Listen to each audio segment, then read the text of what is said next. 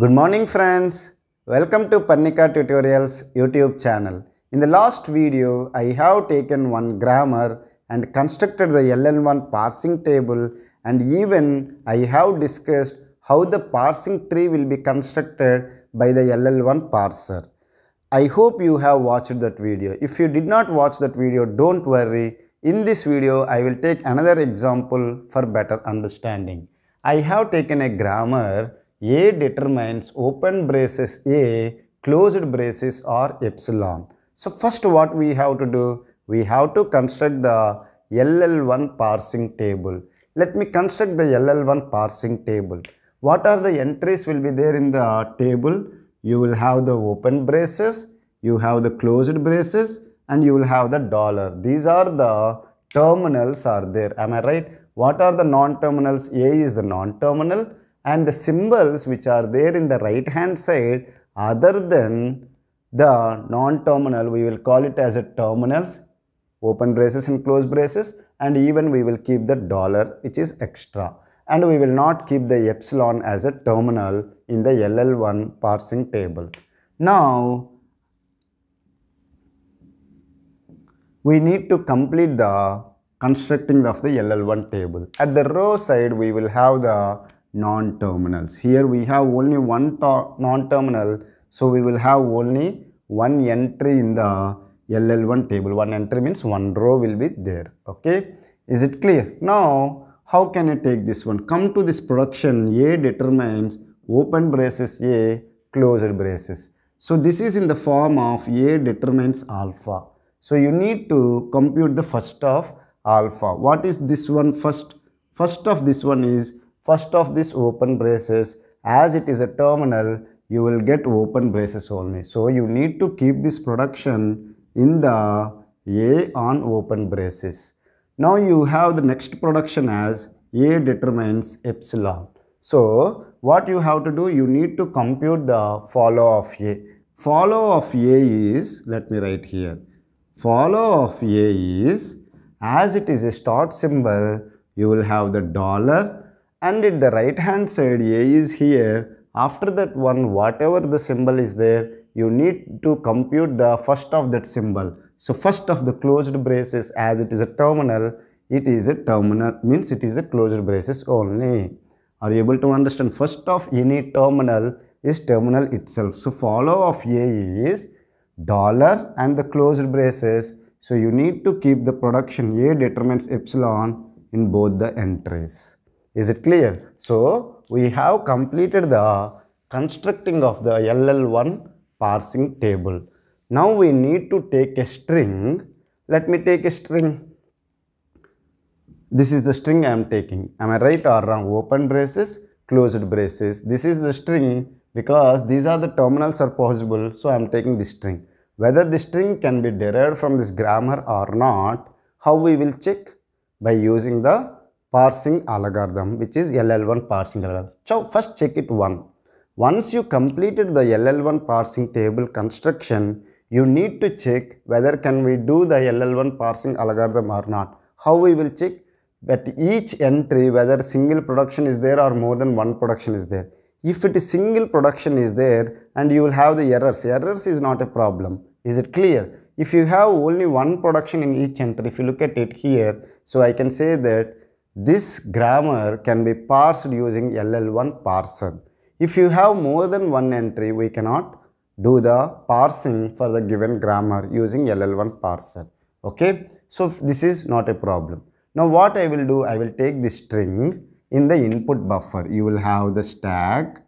Let me write here, you have a stack and you have the input buffer okay in the input buffer what you will keep you will keep the string whatever you want to generate okay this is the string we want to generate now you can ask me sir why you kept the dollar the dollar represents the end of the string is it clear and always the top of the stack will consist of dollar initially okay and then we will push the start symbol of the grammar. What is the start symbol of this grammar here? A, capital A. We will push it first.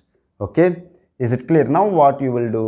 Your top of the tag is a non-terminal and your input buffer is currently pointing to a terminal which is open braces. So what you will do that time? You will look at the entry A open braces. What is the production is there? The production is A determines A closed braces. So what you will do is that, okay, are you able to understand? What you will do is that you will pop this A from the stack okay? And then you will write the right hand side in the reverse order. So you will be having closed braces you will have a and you have the open braces. Is it clear? Are you able to understand it or not? So at the same time how the parsing tree will be generated as you have started from the start symbol a now you are looking the open braces currently. Okay you are looking the open braces on a. Open braces this is the production. So you will derive from a on this one. This is the parsing tree has been constructed currently till now. Okay now if you look at it oh this is the open braces it's clear. Now open braces close braces dollar. Now your stack top of this tag is open braces your input pointer is also pointing to the open braces. There is a match. If there is a match, you will pop this one from the stack. Okay, you will pop this from the stack and currently input pointer is pointing to this one. Even you will have this one also. Let me keep it now. Okay, now your input pointer is pointing to this one. Are you able to understand it or not? Now again if you look at it, the top of the stack is a non-terminal and your input pointer is pointing to the closed braces. So you need to look at the entry A on closed braces what it is there. A on closed braces you have a production called A determines epsilon. So you will pop this A and you will push the epsilon. Is it clear? Now what is the input buffer is pointing? Still the input buffer is pointing to this one. You have the dollar. So the meaning is that from a you have derived epsilon. Is it clear? Are you able to understand it or not? Now what is epsilon? Epsilon concatenated with anything this one epsilon is what? Epsilon is nothing but whose length is zero. So you no need to consider your top of the stack is this one and your input buffer is pointing to this one. Your input pointer is pointing to this one. Now your top of the stack and your input pointer is same. So what you will have to do? You will pop this one and you will shift your input pointer to this side now what is your input pointer is pointing your input pointer is pointing to dollar then what is the meaning the string is completed. Am I right? If the string is completed and at the stack, if you have a empty stack, meaning is that bottom of the symbol is only you have a dollar, then we can say that the procedure is completed successfully. Whatever the parse tree you got, this is the parse tree for the string from this grammar.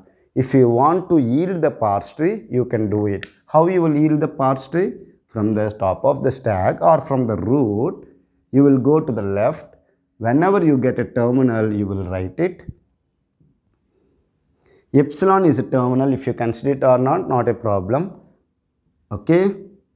And you got a terminal and you got the root node. So, this is what we want to generate even using the parse tree we got it. So, for this given grammar, we have constructed the LL1 parsing table and we have taken a string which can be derived from the grammar and we have done the parsing algorithm and we have constructed the parsing tree. I hope with these two examples, in the last video I have discussed one example, in this video I have taken another example. With these two examples, I hope you have understood how the LL1 parsing algorithm works and how it will construct the parsing tree. If you still have any doubts related to this concept, feel free to ask me in the comment section. I will try to clear your doubts in less than 24 hours. Thank you for watching my video. Have a nice day.